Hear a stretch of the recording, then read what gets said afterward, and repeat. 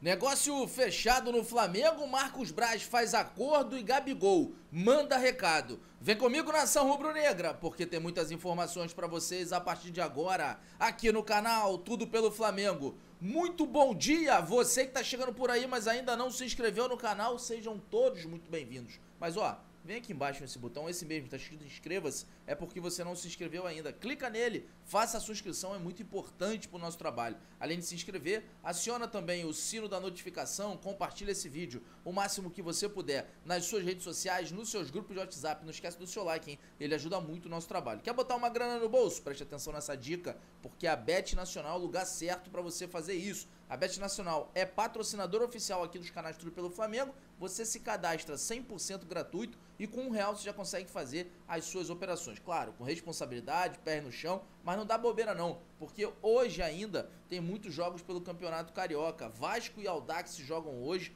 tá pagando 5.28 no empate. Fluminense e Sampaio Correia tá pagando aí 1.11 na vitória do Fluminense. Nova Iguaçu e Madureira 2.13 na vitória do Nova Iguaçu. Então vem aqui embaixo no primeiro link no comentário fixado e faça o seu cadastro. Bom, vamos para as informações. Vou começar aqui logo cedo falando com vocês, é, falando sobre uma situação triste. Né? Hoje completam, infelizmente, cinco anos da tragédia do Ninho, em 8 de fevereiro de 2019, quando a gente, nós perdemos 10 de nossos anjinhos né? E todo jogo do Flamengo, no minuto 10, é cantado uma homenagem para eles, para os meninos do Ninho. É, que Deus abençoe a família, dê muita força para a família. É, enfim, e jamais serão esquecidos. Jamais, jamais, jamais vão cair esquecimento. Nossos 10 anjos, é, os nossos 10, como a gente costuma falar. Então, é, enfim, triste, situação triste, mas é isso para passar força aí para a família dos nossos anjinhos. Bom, vamos falar agora sobre o jogo de ontem, porque o Flamengo venceu o Botafogo. Ufa, graças a Deus, venceu, foi para a segunda colocação. Tem os jogos de hoje, Nova Iguaçu e Madureira, né, que podem passar o, o Flamengo, mas o Flamengo tá no G4, tá na segunda posição. O Fluminense é o primeiro com 14 pontos. O Flamengo vem em segundo com 12. O Botafogo caiu para terceiro com 11 pontos e o Nova Iguaçu fecha o G4 com 11 pontos na quarta colocação. E que jogo horrível do Flamengo. Mais um jogo ruim do Flamengo, mais um jogo onde o Flamengo não consegue mostrar o seu melhor futebol, não consegue desenvolver, não consegue é, é, é, convencer o torcedor rubro-negro que 2024 vai ser um ano é, melhor. O gol do Flamengo aconteceu aos 50 minutos do segundo tempo uma bola alçada na área e não tinha mais o que fazer, né? Tentou, não tinha mais o que fazer, cruzamento na área e o Léo Pereira acabou subindo, acreditando até o último minuto e fazendo gol que deu a vitória para o Flamengo. O técnico Tite na coletiva de pós-jogo do Flamengo, inclusive, se você quiser assistir na íntegra a coletiva do técnico Tite é, sobre o jogo de ontem, você consegue no nosso canal secundário, o canal Mídias Rubro Negro, o link está aqui embaixo para vocês no comentário fixado ou então vai estar tá no nosso último vídeo. Passa lá para você poder assistir a coletiva do técnico Tite, né? Tem a zona mista com Gerson e se inscreve no nosso canal secundário, a gente está sempre trazendo esse conteúdo diferente para vocês lá, diferente desse que a gente traz aqui, que é, são de notícias diárias. Então, canal Mídia Rubro Negro vai estar tá sempre trazendo coletiva, zona mista, embarque, desembarque. Só passar lá que você vai gostar pra caramba. E aí, o técnico Tite falou sobre o domínio total do Flamengo no segundo tempo, no ponto de vista dele. Um trechinho aqui para vocês poderem ver.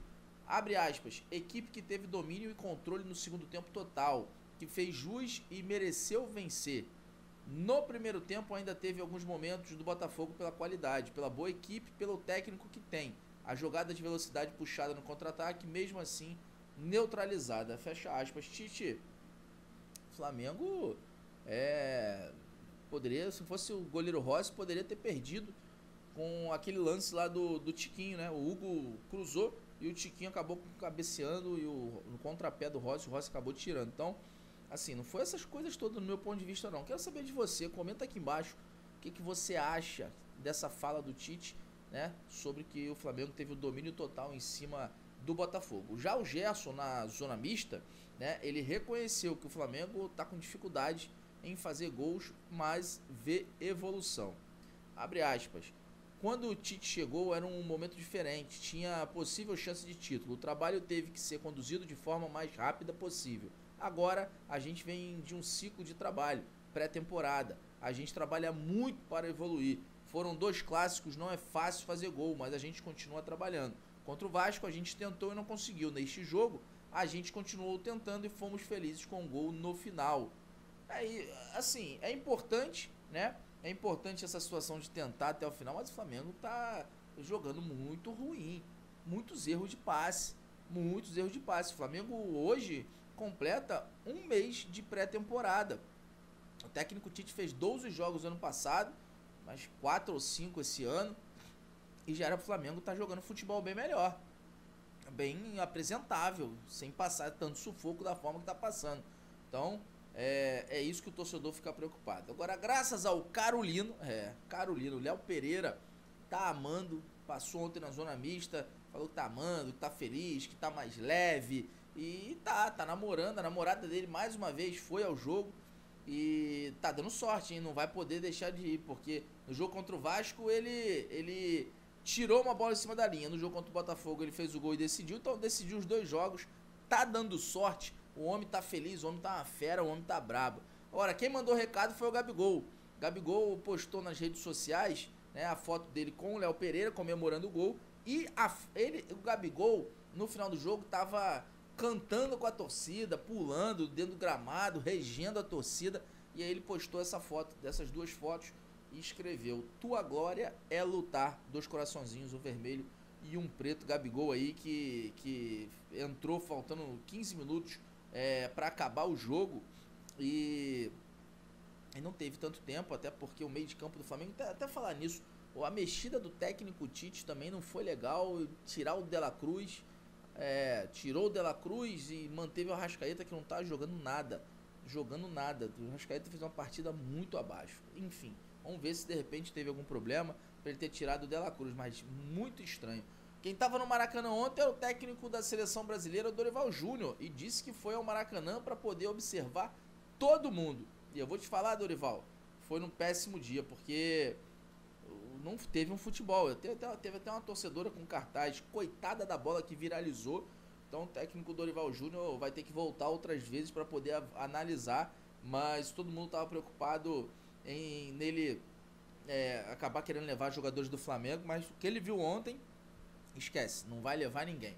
Falar agora sobre Marcos Braz, porque o Marcos Braz pediu desculpa ao entregador, né, que ele teve a confusão com o Leandro Campos e fez acordo para poder encerrar o processo na justiça, ou seja, não tem mais processo, não tem mais nada sobre aquela situação de agressão ao torcedor. O Leandro Campos se encontrou com o Marcos Braz na terça-feira, na última terça-feira, aceitou pedir desculpa e, além disso, é, vai receber uma indenização né, por, por, pelo acordo. Os valores não foram revelados, mas a, o, o processo não existe mais arquivado. Marcos Braz está tá livre aí para ele poder seguir, para ele continuar caminhando e dentro do Flamengo e, fazendo as coisas que ele faz. Não vai ter mais risco de tirar ele do Flamengo, né? Renunciar e nada disso, absolutamente nada. Enfim, quero saber o que, é que você acha, qual é a sua opinião sobre isso, né? Porque é um assunto bastante polêmico envolvendo o Flamengo, envolvendo várias situações. Então comenta aqui qual é a sua opinião sobre essa situação do, do processo arquivado aí é, em relação ao Marcos Braz. Ó, Flamengo fez a contratação, fala sobre o mercado da bola agora, porque o Flamengo fez a contratação do volante do Atlético Goianiense, o volante Thiago Medeiros foi contratado pelo Flamengo para o sub-20 Domingão até o final desta temporada por empréstimo. E aí, o Flamengo querendo comprar o jogador vai ter que pagar 1,2 milhões de reais. É isso mesmo. É um jogador muito promissor. Né? Lembrando que existe. Agora, vai, vai acontecer agora em março a Libertadores da América do, do da categoria Sub-20 e o Flamengo se reforçando aí, se destacou na copinha o Thiago Medeiros. Então o Flamengo tem essa opção de compra é, de 70% de direitos econômicos por 1,2 milhões de reais. O negócio aconteceu, né? O negócio aconteceu, o negócio fechado. Vamos falar sobre a situação do Mateuzinho. O que, que acontece? o, a informação do portal UOL é de que o Corinthians acertou a contratação em definitivo do lateral Mateuzinho do Flamengo. Ele estava ontem no Maracanã, não foi autorizado a viajar para São Paulo, mas foi para o Maracanã para poder assistir o jogo. A informação né, do portal UOL é que o clube paulista vai pagar ao Flamengo um total de 4 milhões de euros, 21,4 milhões de reais por 60% dos direitos econômicos do atleta e o vínculo vai ter validade até o final de 2027. Então assim, é um time que o Mateuzinho já queria ir, fez de tudo, negou Botafogo, negou Grêmio, negou tudo que veio pela frente para poder ir para o Corinthians. Sendo assim, a vontade está sendo feita. Mateuzinho, agora Matheus França. Mateuzinho aqui, lá é Matheus França. Vai ser jogador do Corinthians, deve estar tá viajando hoje para São Paulo para poder se apresentar, fazer os trâmites todos que precisa fazer lá. E aí, qual é a sua opinião? O Flamengo agora com dois laterais direito, Wesley e Varela. Tá bom ou tem que contratar outro? Comenta aqui embaixo. Quero agradecer demais a sua audiência, muito obrigado por você estar aqui junto com a gente mais um dia e mais um vídeo.